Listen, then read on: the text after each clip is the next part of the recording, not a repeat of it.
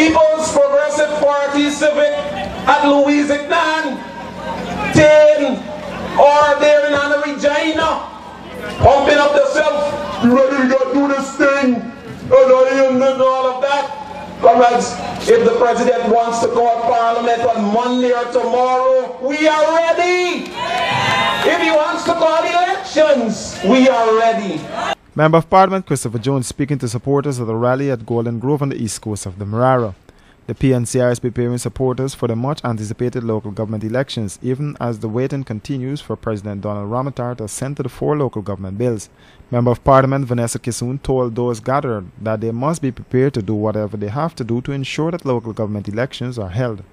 Where Ganga got REOs running the shows, controlling the finances, we gotta take it back. Are we ready to take back? Are we ready to take back? We gotta take back what is rightfully ours. Because if you go into certain communities, you will see the difference. Another member of parliament, attorney at law James Bond, told the rally that local government elections is a serious business. Elections is serious business.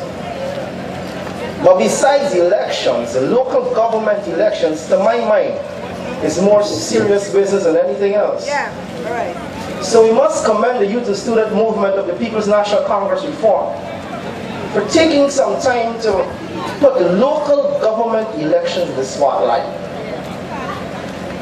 Guyana has not had a lot of local government elections. And I could stand here and tell you the reason why. We are a people obsessed with centralized power. That means everything the top wants to control. We've always tried to rob the grassroots of the empowerment to control their own affairs. Annette Ferguson also addressed the rally and she reminded the youths that they are the future of tomorrow. But